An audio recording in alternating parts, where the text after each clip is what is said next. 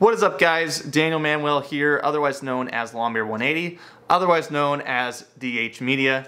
Uh, with an exciting announcement today, I have finally upgraded to a new camera. This was a long time in the making. I've been using the Canon 80D forever, and it's been great, don't get me wrong, I love it. Uh, and it's still gonna be used as a second camera. Um, but it was definitely time to do an upgrade. So today I went and pulled the trigger on a Canon EOS R6 mirrorless camera.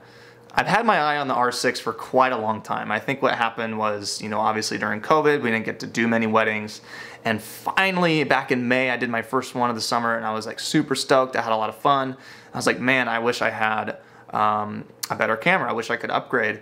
So that's when I started doing research and I learned about the EOS R6. Um, watched quite a quite a bit of different reviews, looking at its features, and honestly, it's just exactly what I'm looking for in a camera. Uh, it has built-in stabilization, which is huge. So, you know, obviously when I'm filming weddings, I'm constantly walking around, whether it's following the bride and groom, whether it's getting a different angle during the ceremony, uh, walking around during the reception, and um, you know, filming the guests. In any case, having that built-in stabilization and being able to walk around and keep a you know a consistent, steady uh, clip without having to edit it in post, it's going to be super nice. So that was one feature that really stood out to me. Besides that, I mean, it's the same ergonomic Canon design that we all like uh, for any DSLR camera. Um, you know, right now it's on my tripod. I got my mic hooked up to it, um, but same feel, lightweight, easy to use, very mobile. Um, I do not like to be grounded while I'm filming weddings. I like to be very free.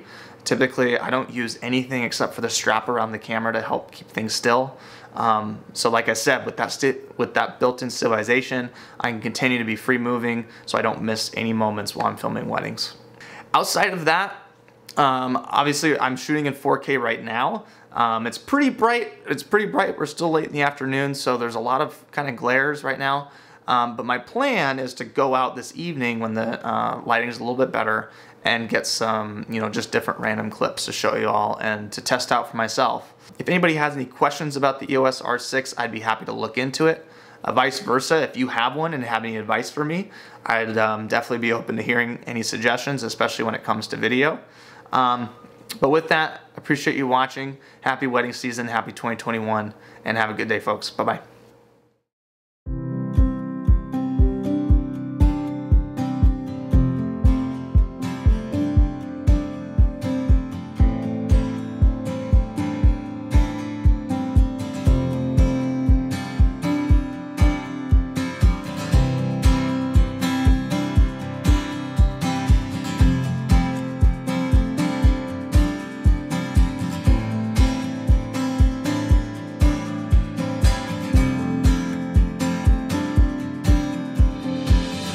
So initial thoughts, I'm pretty excited.